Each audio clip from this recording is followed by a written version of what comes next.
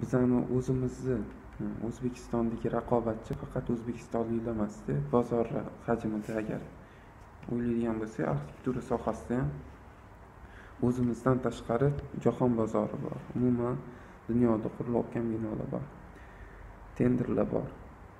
O'sha tanlovlar o'tkaziladi.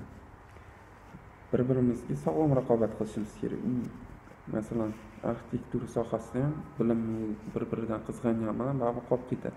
Любой bilimni shuning uchun foydalanish kerak ulashish kerak. O'shanda odam o'ziga ham bitta eslatma bo'ladi и rivojlanishiga boshqa etapga o'tishiga yordam beradi. Bo'lmasam bitta bilimni bilaman degan odam bitta masalan ovqat pishirishni o'rganib oladi bo'ldi shu bo'yicha shu ovqatni pishirib sotaman deydi lekin u vaqt o'tib odamni me'dasiga tegandan keyin biznesi bo'ladi shuning uchun rivojlanishi kerak yengilliklarni ixtiro qilish kerak. Kreativlikni ham shunaqa narsa. Doim rivojlanishi kerak.